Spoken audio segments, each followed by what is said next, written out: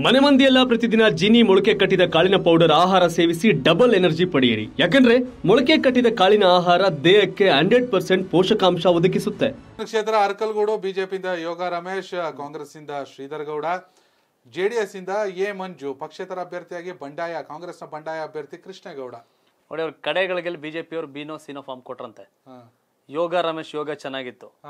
ಅವ್ರು ಇಂಡಿಪೆಂಡೆಂಟ್ ಆಗಿ ಉಳ್ಕೊಂಡ್ರು ಬಿಜೆಪಿ ತಲ್ಲಿ ಇದಾಯ್ತು ಬಿಜೆಪಿ ಯೋಗ ರಮೇಶ್ ಉಳ್ಕೊಂಡ್ರು. ಹೌದು. ಇಲ್ಲಿ ಚತುಷ್ಕೋನನೇ ಇಲ್ಲ. ನಾಲ್ವರು ಪ್ರಬಲ ಅಭ್ಯರ್ಥಿಗಳಿದ್ದಾರೆ.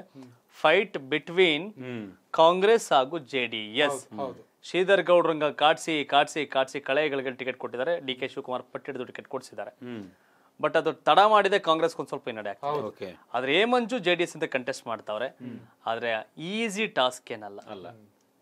ಈಸಿ ಟಾಸ್ಕ್ ಏನಲ್ಲ. ಸೊ ಹಾಗಾಗಿ ಟಫ್ ಇದೆ. ರಿಸಲ್ಟ್ ಕಾಯ್ಲೇಬೇಕು ನಾವಿಲ್ಲೂ ಕೂಡ. ಎಸ್ ಯಾಕೆಂದ್ರೆ ಜೆ ಡಿ ಎಸ್ನ ಟಿ ರಾಮಸ್ವಾಮಿ ಬಿಜೆಪಿ ಇದ್ದಾರೆ ಕಾಂಗ್ರೆಸ್ ಅಲ್ಲಿ ಬೆ- ಇಷ್ಟು ವರ್ಷ ದೇವೇಗೌಡರ ಮನೆ ಬೈಕಂಡು ಆಡ್ಕಂಡು ನಿಂತಂತ A Manju J D S candidate ಆಗವ್ರೆ. ಜನ ನೋಡ್ತಿರ್ತಾರೆ. ಜನ ಉಲ್ಟಾ ಇಲ್ಲಿ. ನಾನು ಅಧಿಕಾರಕ್ಕಾಗಿ ಏನ್ ಬೇಕಾದ್ರೂ ಮಾಡ್ಕೋಬಹುದೇನೋ ಆದ್ರೆ ನನ್ನ ಜನ ನೋಡೋರು ಈ ಎಂತವನು ಶಿವಗುರು ಏನು ಅಂತಾರೆ. ಹೌದು. ಎ ಮಂಜುಗೆ ಆಗ್ತಿರೋ ಸನ್ನಿವೇಶನೇ ಅದು. ಈಸಿ ಅಲ್ಲ ಇದು. ನಿಜ. ನೆಕ್ಸ್ಟ್. ಎಸ್